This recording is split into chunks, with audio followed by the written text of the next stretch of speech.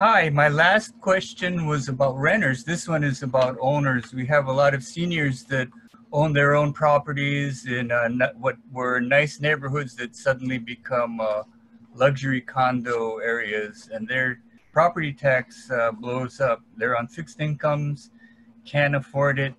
Would you be willing to consider property tax caps for kupuna at a certain age or something like that? Absolutely, yes.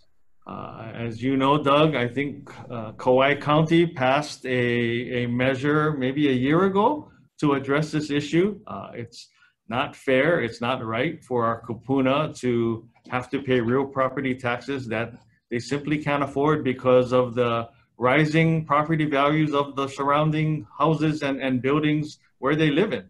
Uh, some of these properties that our kupuna own are multi-generational and it's simply not right it's simply not fair that they would have to give up that property because they can't afford real property taxes thank you Thank you, Keith. Rick, your, uh, your response in two minutes, please. Sure, absolutely be in favor of doing that. I'm actually in favor in a bigger picture, but we'll bring it back to the Kupuna of doing everything and anything we possibly can do under these circumstances to stop the increased cost of living here because it's just become, you know, much more than people can bear. But with respect to a, a cap on that, I think again going back to the segment of this population who've been fortunate enough in this case to own homes, to protect that, protect their equity, protect them, absolutely would be very much in favor of doing that.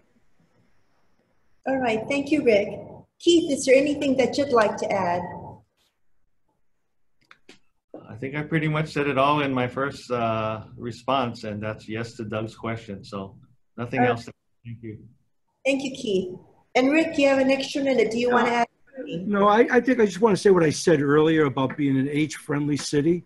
I think, you know, as I said earlier, you know, society's judged a lot by how it treats its most vulnerable.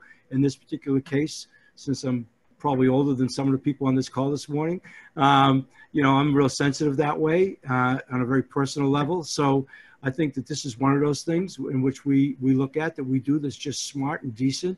And that's true, and whether we're talking about building crosswalks or sidewalks or whatever, these are the things we just incorporate into how we live here and what we do. And that's the role of a leader. I think it's a great opportunity for us, great opportunity, Doug, to do something like that and put that in place. This probably should have been done a long time ago.